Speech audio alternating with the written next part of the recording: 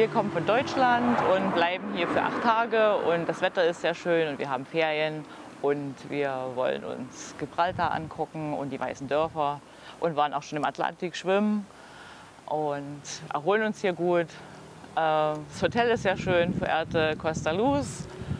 Und jetzt wollen wir in die Stadt Conil laufen. Von Freunden gehört, dass es hier schön ist und waren dann im Reisebüro und haben uns äh, das Hotel hier empfehlen lassen. Der Strand ist sehr schön, der breite, weite Strand und äh, die Leute sind sehr freundlich hier und wir können uns viel angucken. Ähm, ja, wir wollen uns hier die, die Stadt angucken und ähm, die Dörfer äh, im Hinterland. Äh, es ist sehr schön hier und äh, wir freuen uns, dass wir hier an der andalusischen Küste sein können.